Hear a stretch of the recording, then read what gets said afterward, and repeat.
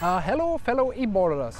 Uh, today we're here with a Meepo 1.5 but this isn't uh, your usual Meepo 1.5 because we did a deck swap. Uh, we now have an Olson Hekmati deck that was also quite easy. We have Paris front trucks, ABEC 11 uh, flywheels and we also have ABEC 11 flywheels on the rear. Uh, normally you get a Meepo with dual hub motors.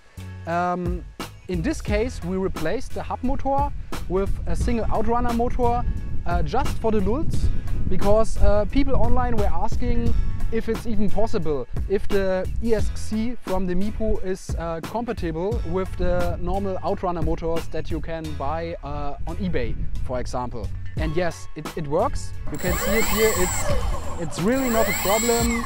Uh, it's plug and play uh, with, with the motor connectors and it, it works quite fine.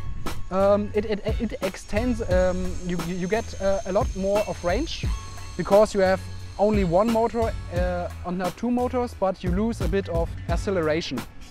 Um, yeah, that's all folks.